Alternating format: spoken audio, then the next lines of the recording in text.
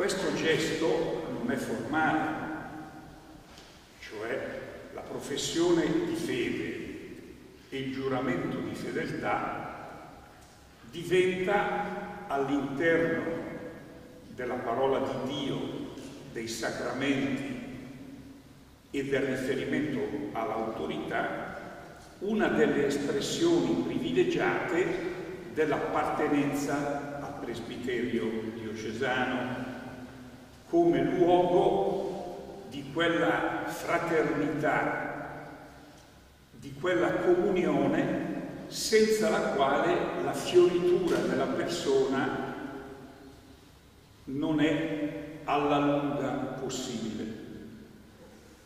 Comunione presbiterale che deve essere sempre di più l'oggetto della nostra attenzione interiore, ciò a cui la nostra mente, i nostri affetti, la nostra energia deve tendere costantemente.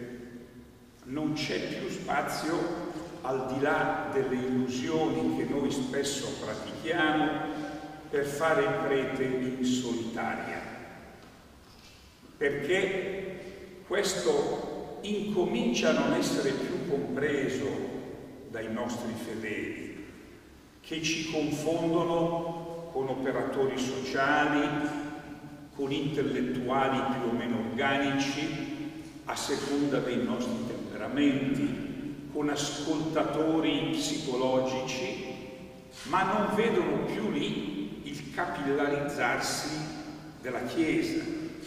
E da questa perdita di senso del prete, del popolo, a colui che crede di poter esercitare il ministero in solitaria, viene lentamente una, una perdita di autocoscienza e uno smarrimento che consente di continuare solo a condizione di molti compromessi con se stesso, con i confratelli e con tutto il popolo che ci è affidato. Abbiamo in questi anni, radicandoci bene nei, nel magistero, nel ministero, almeno dal Beato Schuster in avanti, abbiamo realizzato nella nostra Chiesa dei cambiamenti strutturali che sono necessari ma non alla lunga decisivi, però estremamente significativi, che hanno comportato molti costi e molti sacrifici da parte vostra, perché ogni cambiamento è fatica se non è vissuto nell'ottica appunto della conversione a cui l'unità del presbiterio e l'unità del popolo di Dio ci richiama. Mi pare che però ora ci troviamo di fronte ad un passo che non è sentito solo dalla nostra Chiesa come un passo importante e decisivo, ma da tutta la Chiesa universale. Cominceremo a parlarne un poco in termini organici domani in sede di Consiglio Episcopale e potremmo con una parola forse un po' grossa ma significativa chiamare questo passo il passo della riforma del clero. Siamo giunti in un tempo che ha delle forti analogie con altri momenti della storia della Chiesa in cui la modalità di concepire il sacerdozio ministeriale e soprattutto il suo esercizio e le modalità di vita del sacerdote, dicevo siamo giunti in un tempo in cui tutto questo si è fatto molto acuto, senza tradire nessun segreto, posso dire che ai primi di ottobre la plenaria dei cardinali della congregazione del clero prenderà in esame una testo, un documento preparato in dieci anni su questo tema. Ovviamente non si può pensare una riforma del clero generalizzata nelle forme alla Chiesa universale, bisognerà affrontarla dal punto di vista di talune linee comuni e dal punto di vista della nostra Chiesa locale, ma eh, questa appare come necessaria. Certamente i cosiddetti cantieri e soprattutto la chiusura sostanzialmente pacifica degli stessi, almeno dal punto di vista della percezione prima, ha già comportato una riflessione sulla riforma del, del presbiterio e del prete, ma abbiamo necessità tutti quanti, tutti insieme, eh, di approfondirla.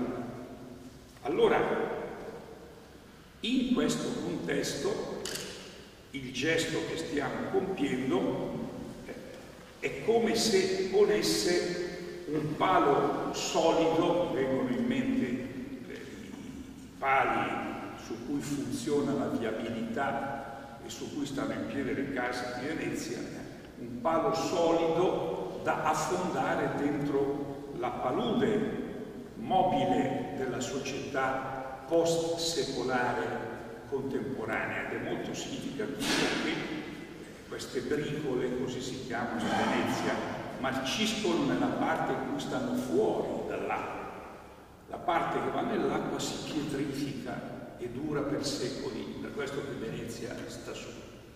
Ecco, noi dobbiamo mettere qualche cosa di duro, di, di quel genere lì, di quel tipo lì, nella nostra vita e nella nostra Chiesa. Allora, la professione della fede, in tutti i suoi articoli, in, in rebus fidei e in remorbo, e il giuramento di fedeltà sono certamente due bricole, due di questi pali solidi a cui non possiamo non fare riferimento nell'unità del presbiterio, nella comunione con il vescovo, nella comunione tra i successori degli apostoli con Pietro e sotto Pietro. Mi pare che le letture che abbiamo letto ci dicono delle condizioni in merito. Mi limito a citare tre parole. La prima parola che voglio dire è, presa dall'epistola di Paolo ai Corinzi. Eh, siamo amministratori dei misteri di Dio. Tommaso diceva unus sacerdos vester, Christus, ali autem ministri eius. C'è un solo sacerdote, che è Cristo Gesù. Tutti gli altri sono suoi ministri. Quindi la nostra tentazione quotidiana, parlo per me anzitutto, inesorabilmente legata al modo egocentrico della nostra libertà, che ci fa partire sempre da noi, come se noi fossimo la sorgente del ministero, dimentica questo dato, cioè che noi siamo amministratori mandati da un sacerdote e dobbiamo per questa ragione lasciar brillare sul nostro volto e far emergere nella nostra azione la presenza del volto santo di Cristo, la presenza di questo sacerdote. Non, non chiamo a me, non chiamiamo a noi stessi, chiamiamo a Cristo, questo ci rende liberi di fronte ai nostri limiti, di fronte anche ai nostri peccati se li riconosciamo, perché non portiamo noi stessi, portiamo un altro. Come si spiega che molte volte, almeno il 35-40% delle volte, quando si cambia un parroco, dobbiamo ancora assistere a, a documenti iperfirmati di gente che si lamenta che se va via quello lì crolla tutto, solo quello lì poteva fare, adesso cosa succederà? Forse perché non non siamo ancora, ripeto, non sto giudicando nessuno come Paolo ci dice, eh? questo vale anche per i vescovi, vale per tutti, dire che nel quotidiano, nel giorno dopo giorno, non siamo ancora capaci di far passare la Chiesa nella sua integralità e nel suo essere segno e strumento di salvezza di Cristo presente. Altrimenti ci sarebbe una maggior scioltezza nel cambiamento. Come si spiega che per mandare, trovare un ministro in una parrocchia si debba chiedere a otto, nove persone? Dov'è l'obbedienza giurata al vescovo? Come si spiega che quando chiami uno gli dice ti vedrei bene lì, vai lì, ah ma il mio tempo è già occupato, devo fare questo, questo, questo, non vedo come potrei mettere dentro quest'altro, ma amico ti sto dicendo di lasciare queste cose per obbedienza e di fare un'altra cosa. Ribadisco, dico questo in tono po' appassionato perché fa parte del mio stile, ma non arrabbiato, molto pacifico. Capisco, capisco la fatica, capisco le difficoltà, però almeno in questa occasione queste cose ce le dobbiamo dire. Eh? È anche più bello, più semplice, più costruttivo per il presbiterio per noi tutti dire quando capitano cambiamenti senza falsa umiltà le proprie aspirazioni è meglio dirle eh, tranquillamente, serenamente, so, mi avete sottovalutato fino adesso, io potrei benissimo fare il preosto lì, il vescovo là, ma ditelo po' semplicità, poi se non capita, non capita. E se lo dite malamente è a scapito vostro, perché l'episcopite o la monsignorite è una grave malattia, perché uno, se uno l'aspetta, l'aspetta, l'aspetta e poi non arriva, ci sta male tutta la vita. È meglio che, che uno non se l'aspetti e che viva serenamente, tranquillamente, ciò che Dio... Ma sono piccoli esempi per dire l'importanza del gesto di oggi. Eh? Quindi siamo amministratori, mandati. Questo esige il prendere sul serio la grande parola che eh, la lettura di Geremia ci ha detto, eh, prima, prima, prima di formarti ti ho conosciuto, prima che tu uscissi alla luce. Qui è concentrata eh, eh tutta la domanda di santità che dobbiamo avere nel cuore, santità sempre personale e comunionale, tant'è vero che questo prima, questa, do, questa domanda del prima è, è, relativa ad un invio, è relativa alla missione, è relativa alla missione. Non esiste una santità fuori dalla missione. Anche lo stilita deve documentare la dimensione missionaria della sua scelta. Ecco, però questo prima, questo prima a un grande nemico, il nemico di questo prima, di questo Dio che viene prima, di questo Gesù che viene prima, di questo volto che dobbiamo cercare, si chiama dualismo. Io vi metto a posto alla mattina, la lezio, la meditazione, se la pastorale non domanda altro, la Santa Messa, sono regolare nella confessione, e dopo fatto questo passo all'azione e lì mi butto in tutte le iniziative, eccetera. Tutte e due le cose oltremodo lodevoli. La, il primo fattore di una riforma del clero è aiutarci a fare unità tra questi due aspetti che normalmente viviamo come tentazione.